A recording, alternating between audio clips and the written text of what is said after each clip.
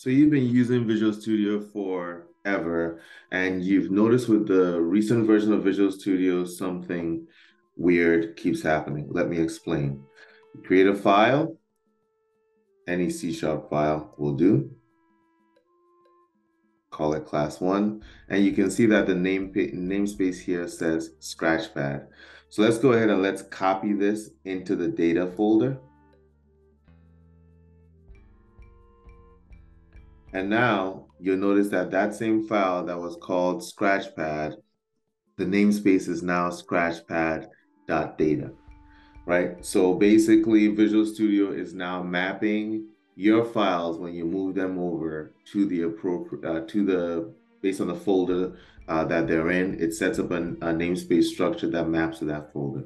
Well, what if you don't want that? And the scenario where you might not want that is when you're moving files around for example, you're working with XAML or you know some kind of markup language, um, uh, UWP or something like that, a WPF, and you you know, and it works fine when you're talking about just regular files. Not that it's fine because you do have to go in and and keep updating it if you want it to be in a specific namespace.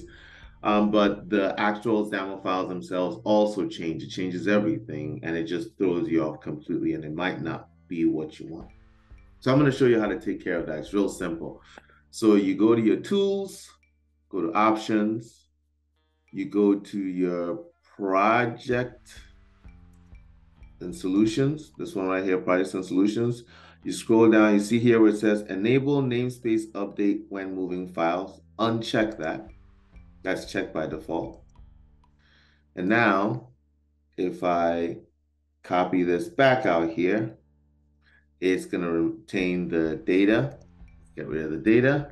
And if I copy that into, let's say, the repository, as an example, it's still going to re uh, retain the scratchpad.